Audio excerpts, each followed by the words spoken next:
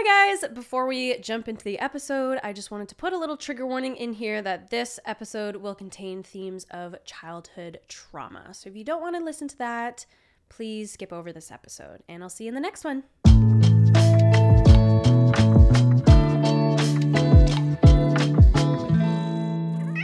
Welcome back to another episode of Safe Space with Keara Graves. I am your host, Keara Graves, and this is my lovely wife, partner, spouse, love of my life, soulmate, um, all of the above, Lauren, aka Ren. How are you doing today, Ren? That was Willow. That that's how I feel. um, I'm feeling very calm compared to yesterday. That's good. Oh, Willow wants to jump up. Come here. Come here. You want to join the combo? Oh, she has long nails. Ah! Oh, Willow, up or down? Girl, Every that time, hurt. every time I record an episode, she comes in here and starts meowing. Hi. She's silly. So, today we are going to be talking about a little bit of like a personal story that Lauren wants to share, and I think it's a really important story. Um, and also kind of about like the correlation between your physical body and your emotional body. Like what's going on in your like pain body. I know I've talked about this in previous episodes. It's from the book uh, The Power of Now by Eckhart Tolle.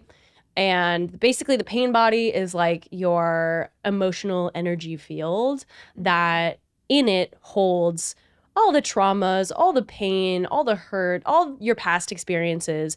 And it all is like being, it's carried with you throughout your life, unless you like work on it. But your pain body affects your physical body. They're basically like reflections of one another. Whatever's going on in your emotional state reflects in your body. So your body can be a good indication of what's going on. Oh yes, it can. Yes. Oh God, yeah. So Lauren had a really interesting journey Uh, in the past like six months with Yeah. your pain body um, reflecting on your physical body. And Mhm. I wanted to talk to you about it today because I think it's really relatable. I think a lot of people. Oh. Sorry, Willow. I think a lot of people experience similar situations, and I think, yeah, I think um, your story should be heard. Thank you. It's been a ride. So tell me, like, where it all started, how it all started. So I did four HIIT classes in a row at a gym. Some background information about me. I was a very competitive soccer player. I played division 1 soccer in the states for 2 years in college and before that I played really high competitive soccer from 6 years old to I was 20. So 14, no, how long is that? I can't do math. 14 years. Don't 14 ask me. years I played I played very competitive soccer and what came with that was just eventually you have to like kind of dissociate from your body because you're in pain but like you want to play in a game. You and know you what I have mean? to, like, And- you're kind of forced to, right? Yeah, you have to, especially with me. I was like the lead goalkeeper on a lot of my teams, and my coach would get mad at me if I like couldn't play in a game. You weren't allowed to say, hey, I need a rest. Like, my body's telling me I need to chill out. Like, that was not an option. No, it wasn't. So basically, fuck listening to your body if you're playing sports, uh, because that's not acceptable. Literally, that that's kind of the motto. I feel like nowadays, like I feel like a lot of people who played college soccer will tell you that after they quit, they've had to deal with a lot of mental health things And physical health. and physical. So like like I started doing these HIIT classes at the gym we go to and I started getting back into the soccer mentality of like, oh, I really like I feel really fit right now. Like although I'm sore, the best way to fix soreness is to work out again. That's basically what they teach you. I realize now that you actually do need to take rest when you start feeling that soreness. And if you like I feel like people should go and stretch after that happens. Um, that is the best way to recover when your muscles are really sore, not going and doing another HIIT class. So I did four HIIT classes in a week. Girl.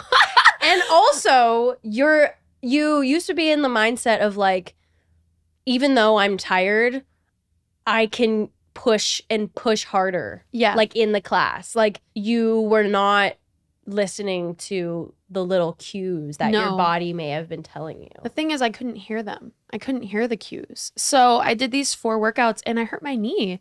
And I was like, "Oh, why did I hurt my knee? Like, was it like we did squats with weights and like that hurt it? Like, that's never, I've never gotten hurt by just doing squats with a 15 pound weight. So I was like, was it that? Like, I did feel something kind of pop, but I thought that it was. This is where my soccer brain comes in. I was like, you know what? It was just my muscles, like just doing a little thing, but I'll be fine the next day. and remember i spotted like a massive bruise on your knee and you were like i didn't even know that was there Well, that also was in the knee. I had ACL surgery for those who don't know, and that was the knee that I had ACL surgery. And when you go through a really big surgery like that, it fucks up all the nerves around your knee, so you can't really feel it. So one day, Keara was like, "Babe, are you okay?" And I was like, "What? What do you, what do you mean? Like, I think I'm okay. Like, what's going on?"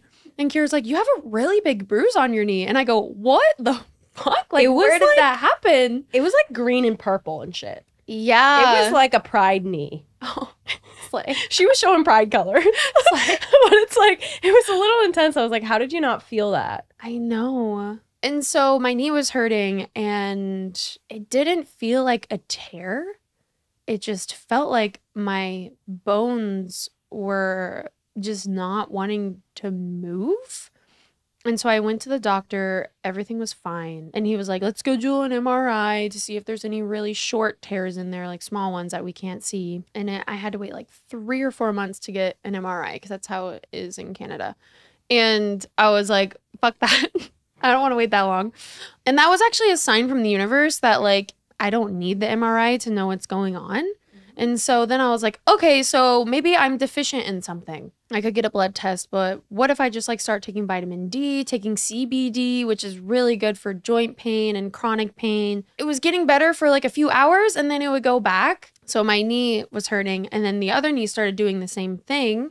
And then my shoulder started hurting and Kira and I were going to a yin and calm class like where we go to the gym and I went to lay down and I started crying because my shoulder hurt so bad it felt like I dislocated it like I didn't know what was going on. We went to the ER that night cuz I was like, "You know what? My body like I think just needs attention right now and we need to go to the ER and see if I dislocated my shoulder cuz that's genuinely what it felt like." We were there for what? maybe six hours It was a Friday night, in the middle of the night which is the most popular time probably for a hospital in the middle of Toronto was a Friday night. we got home at like 4 a.m i think Yeah, it was insane. yeah But nothing was wrong with my shoulder. literally nothing And they're like, let's give you some pills for the pain to go. I was like, I don't want your pills. it's like that's not the problem Like, no. you can't just like cover shit up with pills like obviously it's a temporary fix but Lauren knew that there was something underlying. You just had like an intuitive feeling that like this is there's more to it. How come my pain is like moving throughout my body? It's not just like stationary in one spot. Now I'm having all these different bone pains in Yeah. different parts of my body. So Lauren was like, "Okay, let's do a deep dive." And then literally a week later, after we went to the ER, my other shoulder started hurting in the exact same way. And I was like, is literally a week later, like a Friday, is it started hurting again. I was like, what is going on? Like this is so fucking weird. And so, um, if you guys don't know Louise Hay, um, you need to hop on that train because I've definitely talked about her in this podcast. okay, before, good. But you can like reiterate. So Louise Hay is this amazing spiritual healer. Rest in peace, but her energy is still with us today. And we have a book that she wrote in the 80s, which kind of explains when something is hurting in your body, it has a deeper meaning Mhm. and it has to do with something that you're going through at this moment. For example, Yes. For example, a cold means you're overwhelmed. Mm-hmm. Both of us right now. Yes. I looked up what knee was first and it said it has to do with the ego. And I was like, what? My ego's fine. um, but like ego can mean a lot of different things. Like ego is basically just like the false self. It's like the part of you that's been conditioned by the society. And then I looked up joints and it was like something about not feeling safe. And I was like, what? I was so confused when I first read that. I, I like refused to believe that. To do a little timeline. So when I my knee first initially started hurting, that was in October. And then now we're in December and all my joints are hurting. And I've real I've read this thing from Louise Hay and I'm like, what is going on? And then all of a sudden it was Christmas time and we were supposed to visit my family. And I was so anxious about it because at this point, my intuition was kind of telling me, like, you need to heal from past things with your family and things that you've gone through. For me, it was like, I didn't know these things existed. And like, even when I met you, I'm like, my family's perfect. um, fast forward four years later, and I'm like, girl, I've been through some shit. You were And- feeling really helpless at this point. You were like, you know what? I'll just do anything. I was crying so much, like the most that I've ever cried. Like, Every night, crying. I was like, why? So there were days to put into perspective. There were days where I couldn't, I could barely get out of bed. When I was going into bed, Keara had to help me move my legs to get onto the bed. Like, it was so bad. Like, and I was crying while they were helping me move my legs onto the bed. I'm so grateful for you. Of course, honey. Oh, And, oh, just cracked your finger. and you couldn't sleep. Like you, le- every night you were up, tossing, turning, waking up. That is the worst sleep that I've ever had in my whole life. I didn't sleep for probably four months straight. Because every part of your body was fucking hurting.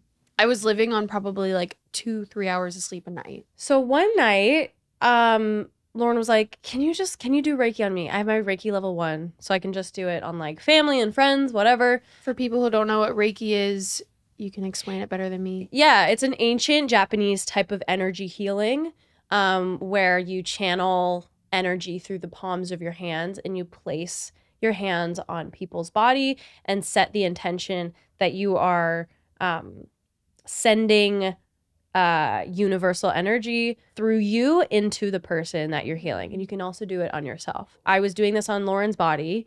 And as I was doing it, I was getting the download, like the realization that, oh my God, Lauren's body is shaking. I could like visualize their bones and they were like shaking and scared and trembling. And like, I just got the sense that like Lauren's body was scared before Lauren even understood that they were scared themselves. Oof. She was scared, all right. And after that, you were like, oh, let me like dig a little deeper. Like, am I scared? that, yeah, that moment really helped me because I was like, what do I need to be scared about? And for past things that I won't mention, I lived with someone in my household that I was genuinely scared of like my whole life. And I would lock my door when I would go to bed when I was really young, scared that this person would come in the middle of the night to yell at me, do Hurt you? Like, yeah. yeah, I realized that my internal inner child was finally reaching out and felt comfortable enough to make my external body hurt so that she could finally feel heard. So that you could listen to her. Exactly, because that was the only way that I was going to listen to my inner child was for me to be in pain. And even as a child, you had so many injuries, Mm-hmm. and it was like your body's way of saying, hey, I'm not okay. Like, I keep getting injured. Please look into this more. Yes, exactly. And I didn't get a lot of attention when I was younger for certain reasons that I won't say. But going through this in the last six months was my body's way of saying, like, I need attention from you and only you. And you know what? She got that. She got that attention. I don't know if Keara's talked about it on their podcast. I don't care. I did some shrooms and I had a magnificent meditation. And I saw me when I was younger in a situation where I didn't feel safe. And this person that I was living with was just yelling at me. And I was sitting at the kitchen table just trying to do my homework. And I saw myself now staring at my younger self. And I said, Come here, let me give you a hug. And my younger self came to me and I gave her a hug. And we had this big white light around us. And she finally hugged me back. And it just felt so good. And I just felt so safe. And it was the first time in my life that I ever felt safe. Because you gave yourself that safety. Exactly. Your like self now reached out to your younger self and your younger self reached out back. exactly. And you had that connection. Yeah. And that was a huge turning point. By this time, it was mid January. So I had been going through all of this pain since October. And it was the most beautiful thing that I've ever seen in my life. But after it was done, I went through this really dark phase. Like, I welcomed in my inner child, and girl, she was mad, angry at every single thing.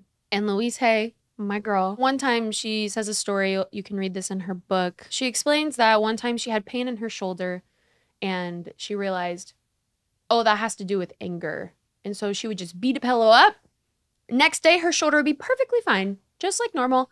And so I was like, whoa, that like really resonated with me because I'm like having shoulder pain still.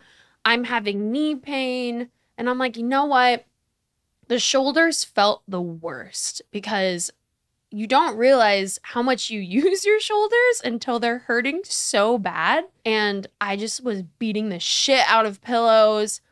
I would walk past our couch, and if I felt one ounce of anger, I would just punch the shit out of the couch. It just, it felt so good. Because especially as like females growing up in this like fucked up patriarchal society, we're taught to repress our anger. Yeah. And when we're anger angry as children, especially as females, we're told to shut your mouth and don't yell back, don't express how you're feeling, right? yeah. And so like all those years you were just you held in all that anger and it was stored in your pain body.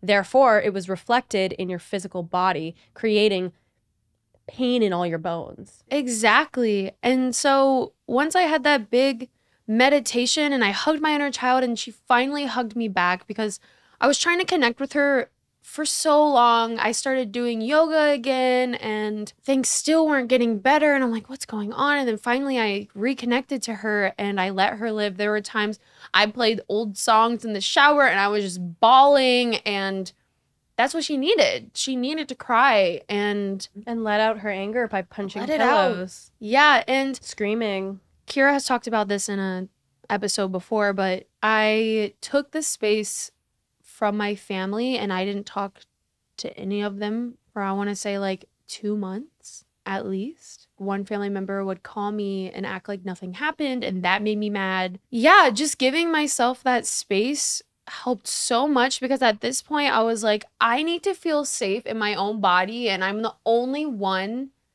that can do that and I haven't I haven't felt that pain. What did I say the other day? In like two to three weeks, Yeah, or more maybe. I don't know. maybe a month, the past month. Yeah. And oh, I just feel so grateful just saying that out loud. I'm like, so that's proud of amazing. you. That's like you did some hard inner work, but you healed your own damn body.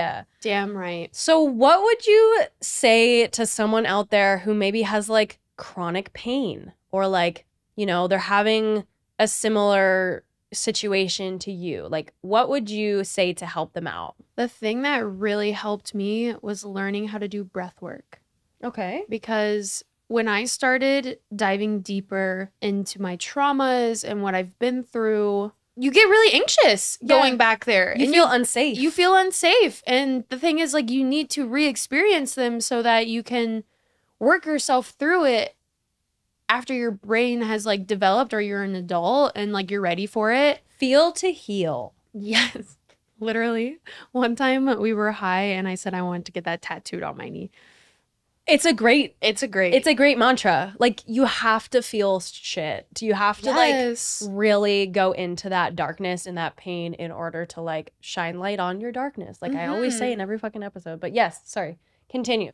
I was dissociated like my whole entire life, not even with soccer, but with emotions as well, because my family doesn't really express emotions. So you were starting to experience emotions for the very first time, like really deep emotions. Just all of them all at once. right. Like so- I felt certain emotions, but like I kind of took on the more masculine approach because where I grew up, the females that were masculine were queer, and I knew that I was queer. So like I took on like you can't cry and like stuff like that. You know what I mean? and That's what we grew up. and athletes. Exactly. It's like don't cry, you're not hurt. Keep going. Keep playing. Yeah. It's fine. You're fine. And so when I would feel emotions like sadness and crying and anger, I would be like, no, I'm fine. Everything's fine. Right. So know? all of a sudden, you started unlocking all of these emotions, and it was really overwhelming for you because you hadn't experienced the depth of these emotions because you've always pushed them down. So your nervous system was like, what the fuck? Yeah, Can I handle this right now? exactly. And so my number one thing now and probably for the rest of my life is calm your nervous system as much as you can. And breath work is medicine. breath work does that. I noticed that the one that really helped me was breathe in for four, exhale for seven. When I was really deep in those thoughts, there was an underlying intuitive feeling that I could feel when I did my breath work that was like, this is worth it. What you're feeling right now and the darkness that you're feeling, it is so worth it. Keep your nervous system calm, go through it, journal about it, meditate about it, punch the pillows, keep doing what you're doing. You are so close to the other side. What was the first step in healing your body pain? Accepting it. I love that. I love that because I think that people can push shit away because they're like, ah, I don't want to be feeling this right now. Maybe they'll use escapism in some way. And like, Mhm. you know, I get it. Like escapism, it's necessary sometimes, but like when you keep doing that, it just reinforces the pain and it it it doesn't end. So you need to actually look at it and be like, you know what? Whatever is going on right now, it's okay. Just Right. acceptance. I remember one time I was in a really dark place. Like I would wake up at 4 a.m. like every night, just in pain. And I would go out and punch the pillow. I don't know how I didn't wake up Keara. And our cat would be like, What's going on? Excuse me. and I did some oracle card readings for myself. And I was like, Oh God, please, universal energy, please just give me some sort of sign that I am on the right path. And I drew this card that said Pillar of Light. You are on the right direction. You are such a bright light. Keep going. Then I realized when I drew that, I was like, I just need to accept what I'm going through. I just, I need to give myself the empathy that I deserve. And empathy comes from accepting. I also, something that really helped me was listening to my body and what I need in that moment. If I'm hurting, I'm like, okay, what do I need to do? Oh, I need to go outside for a walk. I'm going to go do that. Oh, I need to smoke some weed. Bet I'm going to do that. How can you summarize like what you went through? Like what was like what was the core? Because I feel like we we touched on a lot of different things and a lot of different things you were working on. What is like the core of what was going on? It was such a transformative experience. And during those experiences, you learn a lot of life lessons. Um, I would say the core of it is I am safe when I'm connected to universal energy, and I am always connected to universal energy. I love that. That is the core of it. So throughout this process, you have gained a really strong connection to yourself, Mm-hmm. but your spirit, your spiritual self, who is connected to the energy of the universe. Because before this happened, I I came from a Catholic religious background, and I was like still skeptical about spirituality and energy as like probably a lot of people who like grew up in a religious organization and that experience showed me like no this shit is real Mm-hmm. and another thing that I realized was external things that happen to me are actually reflections of my of my own energy of myself. Mm-hmm. So for example, I would hear angry yelling. On the street. I knew that those people were just angry with themselves. And that was a reflection of me, which means that like I took on someone in my household's energy and I made it my own, which made me angry at myself, but that was not my energy. And now I barely hear people yelling. And when I do, I'm like, okay, am I being mad at myself? Mm, I'm being too critical of myself. Yeah, that's true. So let's feel safe. And then the person goes away. Our external world reflects our inner world. Yes, it does. That is a huge lesson that I learned. And so that also encouraged me to feel more safe because that means the more safe I feel inside of me, the more safe my external world is going to be. And it is. safety comes from within. Mm-hmm. We must work on feeling safe and trusting ourselves Yeah. if we want to feel safe in the external world. Yes. Period. Period. Period. As children, I feel like we just take on people's energies when we're little because we don't know any better. Exactly. Um, we're very sensitive to energies when we're little, so we take that on. But in reality, when you grow older, you realize that energy never belonged to me. So you know what? I'm not gonna let it belong to me anymore. you can let it go. I'm not that angry energy. It is so important to do inner child healing. Hmm. I believe when we're healing our traumas, that's what we're healing. We're healing our inner child. Yep. I mean, I'm doing it right now. Mhm. I feel like I'm always going through like different, like little decades or few year spans of my life where I'm working on. And I feel like right now I'm working on like my preteen, like Mhm. going through puberty totally. phase. And it's like so much. It's so much. But thank you so much for telling this story. It's such a vulnerable story. And you are so fucking strong and like self aware and inspiring to me at how you were able to make that commitment to healing yourself and healing your body, healing your emotional body, and gaining that uh, relationship to the spirit, the source. And I'm so proud of you for doing that. That was such a transformational experience for you. And I'm sure in hindsight, you would never regret No. anything that happened. Like you're so happy that it happened, even though it was hard. hmm But it, it was proven to be a important experience, Yeah. like a benchmark. Yeah, listen, if you're if you're going through a lot of pain right now, emotionally, physically, whatever it may be, it's scary. But try looking internally and seeing all the things that you've been through because if you've been through a lot of shit, you're so fucking strong. And And we've all been through a lot of shit. exactly. no one on this planet has escaped traumas. Every single person on this planet has experienced traumas, okay? I know we like to separate ourselves from, like, oh, that wasn't that bad. Or, like, what I experienced, mm, other people have it worse. No. Yeah, Try not to compare your situation to other people's experiences exactly. because what you went through is so valid. It's okay to be like, I'm not fine. yeah. It's fucking so powerful to say, I am not fine right now. Please reach out to people. You do not need to keep all of this stuff inside. Like Lauren reached out to me and the universe for help.